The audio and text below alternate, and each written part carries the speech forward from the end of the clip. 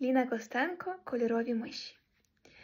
Давно іще, в 600 якомусь році, ну, це б тобі ж ніж три віки тому, коли носили шпаги ще при боці і розважали стратами юрбу, коли відьом палили при народі, коли наук не знали ще ладом.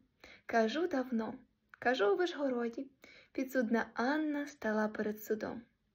Було тій Анні, може, десять рочків, її привів розлючений сусід.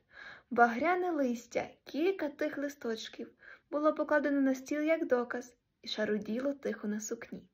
Осіннє сонце, яблуко недоквас, стояло в голих киленах при вікні. Тоді сусід сказав у тиші Панове судді, я її привів.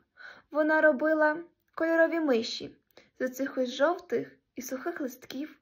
Ото складе листочок до листочка, два рази хукне, так і побіжить.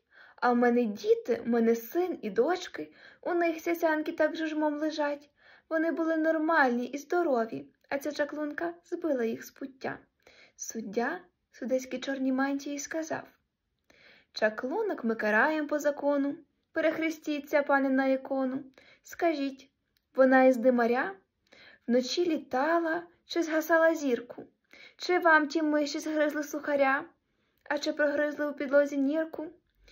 Сусід сказав, що миші якраз такої шкоди не чинили зроду, що в господарстві наче все гаразд, а йдеться швидше про моральну шкоду. Скажіть, вони на вас гарчать?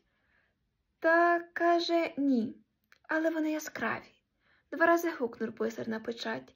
Сиділа тихо дівчинка на лаві. Був сірий день, і сірий був сусід, і сірий стіл, і сірі були двері. Та раптом нявкнув кольоровий кіт, залив чорнилом вирок на папері.